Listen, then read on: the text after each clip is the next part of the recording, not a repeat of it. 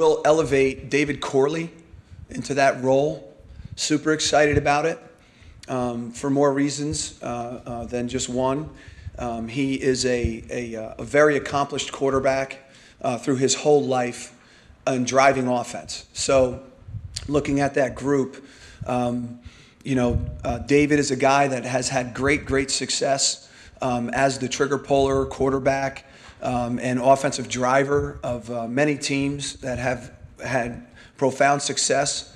Um, you know, the culmination of that shows a career uh, accolade of being in the Hall of Fame um, at William and Mary. He's one of the most accomplished offensive productive players in college football history.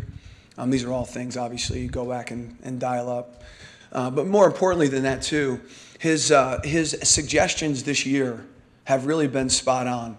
They've been some of the better moments in games, some of the better plays in games. His suggestions in game uh, that I get a chance to listen to have been uh, on point and spot on um, and, and has a real good feel for, for that.